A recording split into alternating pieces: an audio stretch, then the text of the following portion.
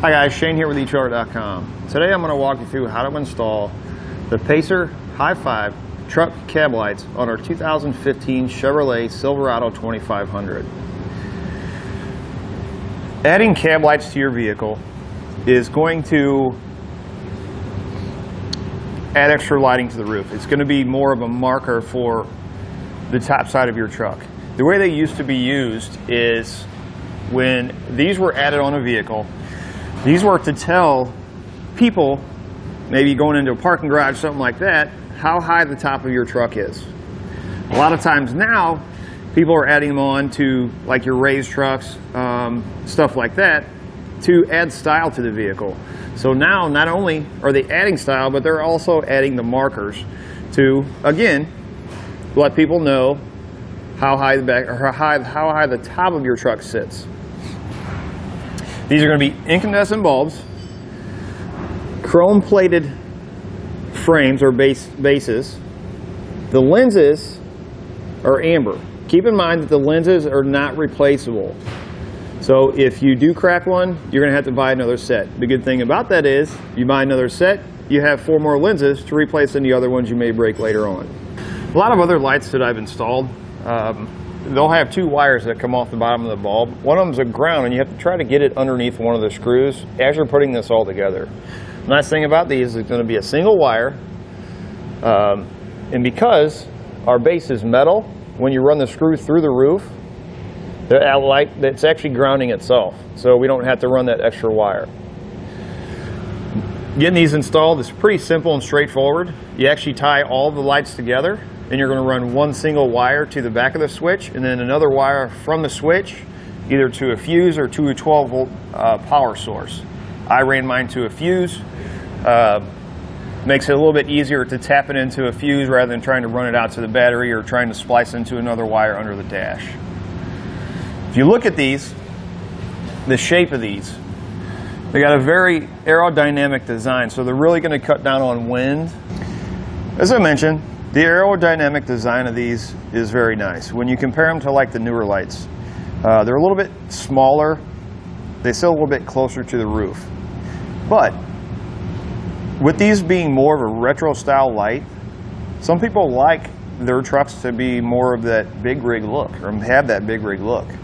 So I think these lights look great on here. Um, they're not only going to work for your older vehicles, but they are going to work for your new ones also. That being said, let's go ahead and walk you through how to get them installed. To start our installation, we're going to come inside the vehicle. We need to remove a couple things so we can loosen our headliner. We're going to start with our grab handle here. There's two little caps on the inside. We need to pop those off. Once you pop those off, you're going to have two bolts. Use a 10 millimeter socket, remove those. We're going to take our handle, we're going to pull back.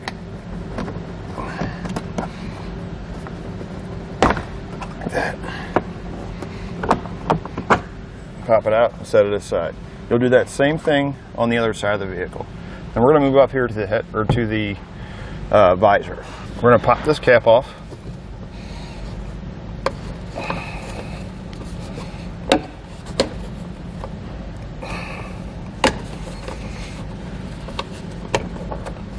Slide it down to the end like that. We're going to use a star bit.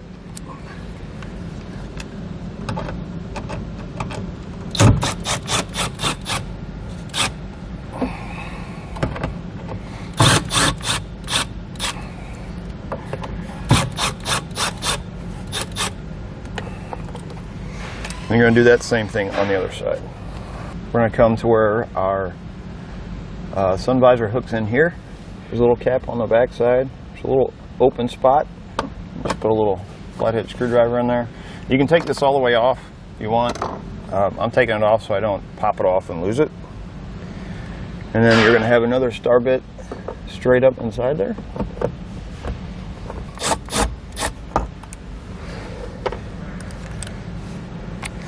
What we're going to do is we're going to move to the center section. We're going to grab right here on this edge, right here in the center part. You're going to pop that out. And if we look right up inside, there's a little screw here There's one over here. We need to remove both of those. That one's also going to be a star bit, but it's going to be smaller than the other one.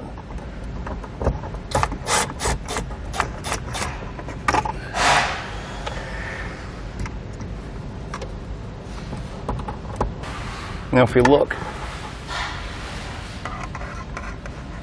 right up in here, there's a little clip in there. Now you can just pull down on this, but um, with it being plastic, I don't want to take a chance of breaking it, so I'm using a screwdriver to kind of push that tab in a little bit, and you're going to have one on the other side.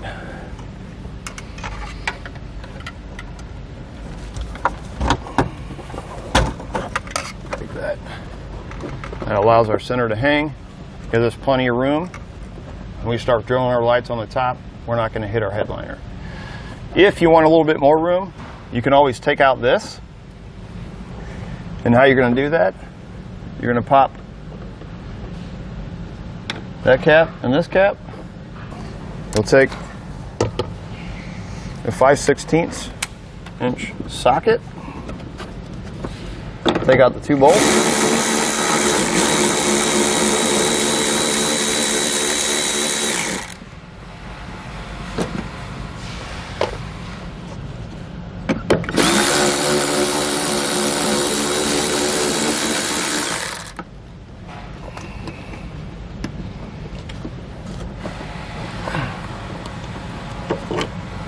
And we're just going to pull back and forth.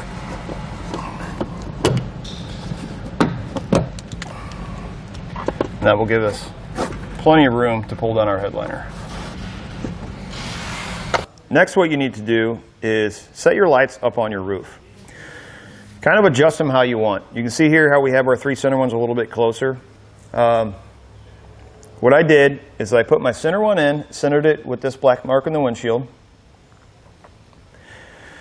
My two outside ones, I measure from this edge over, put a piece of tape on both sides, piece of tape, or I measured from the, from the uh, edge here up, piece of tape, and then a piece of tape in the back. And what I did is once I adjusted my light to where it was facing correctly, I put a black mark on the tape on the front and the back so that if it gets, it gets moved at all, I can center it back up.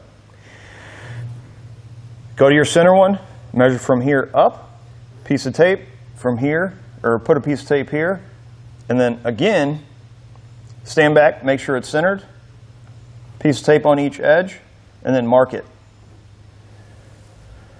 Once you get that, then you're going to measure from this edge to this edge, this edge to this edge, however much distance you want. Just make sure it's equal so that your, your two outside lights here are equal distance apart from your center one. So what we're going to do, go ahead and take your cap off if you put it on there to see what it looked like. Center it on your lines. Make sure you're in between your two pieces of tape there. I'm taking a little pointed tool. You can use a tap, I mean a uh, anything really to make a little mark.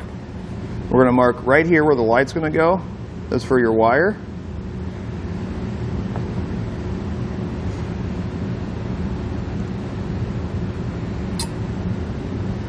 I'm going to mark here. It's going to be for our front screw. And then for our back one.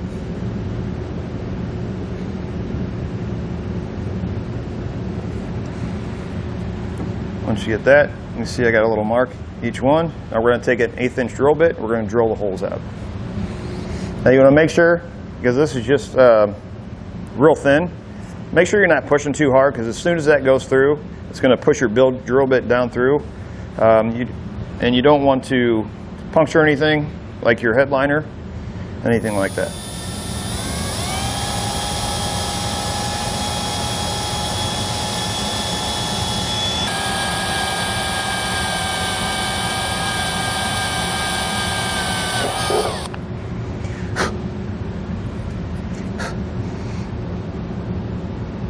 Once you drill your three holes, you're going to repeat that same process for the four remaining lights.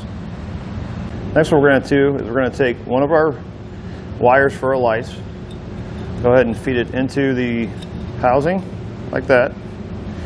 Feed it down through the seal. I'm going to go ahead and put the bulb in now.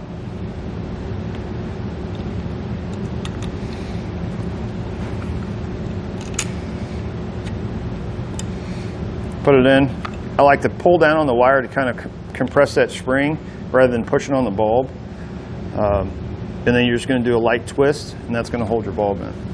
You'll feed your red wire through the center hole.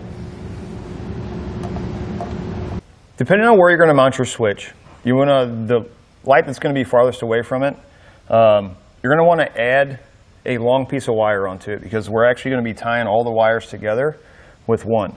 So my switch is going to be mounted on the driver's side. This last light is what I extended my wire with. And we have it running across underneath the headliner and then we'll go in and connect all of our lights to that one wire. You're going to take the connectors that come in your kit um, if you want to use them. I don't like them. I think they're a little bit of a pain to use. I like using some like this. Um, these don't come in your kit. You can find them here at eTrailer.com. This is what we're going to connect all of our wires with.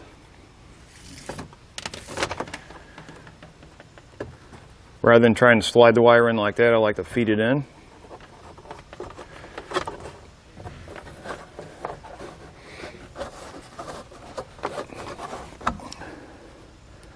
And fold it over.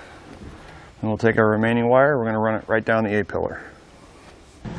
So the wire that you connected all of your lights together are going to go into the bottom of the switch. Then your wire that you're going to be getting your 12 volt circuit or 12 volt power from with your fuse on it is going to hook to the top post on the switch. You are going to have to extend this wire to get to your 12 volt power. What I'm doing is I extended it down my A-pillar right over here to my fuse panel. And I have a 15 amp fuse that's getting constant power. The fuse tap you can pick those up here at eTrailer.com. They do not come in the kit. Now that we've got it all hooked up, go ahead and flip our switch and test them out.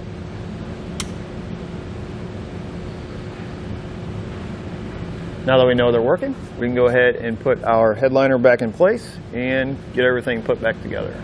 Now that we've got everything back together, our lights are working great, we're ready to go. That's going to do it for a look at installation on the Pacer Hi-Five truck cab lights on our 2015 Chevrolet Silverado 2500.